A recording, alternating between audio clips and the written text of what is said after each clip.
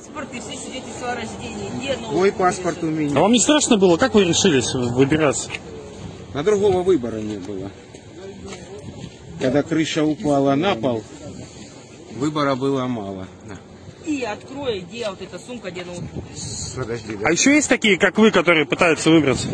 Вот этого я сказать не могу. Я за- Соседи узнали, ну все поузнавали, кто смог, те повыезжали. Кому было куда ехать. Кому некуда ехать, где мы остались. Ничего нету. Люди сидят в подвалах. Да. А азовцы, вот это СУ, они на улицах там где-то занимают А, дома. это мы ж не выходили. 11 дней в подвале, никто ничего не знает. Ходят они, не ходят. Вы сегодня бежали, видели? Они как вас пытались остановить. Нет. Вот они, не, они пытались только стрелять. Кто-то сидит, может, где-то видит, а так... А так я врать не буду, я не знаю. А много таких, как вы, э, Много. а пытается выйти сейчас? Тоже много. Только все пытаются туда ехать, и кому то есть родственники. Если мы знаем, что у нас тут есть родственники, мы сюда Ну вот вместе с вами еще кто-то выезжал? Нет, мы самые первые сюда выехали.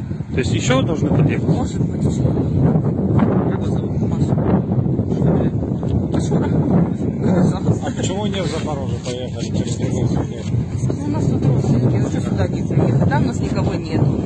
А там, а тут есть. То есть вы говорите, а, население не оповещено о гуманитарных коридорах? Я же говорю, света нету, ничего нету. Кто по радио услышал, передавали вот так вот.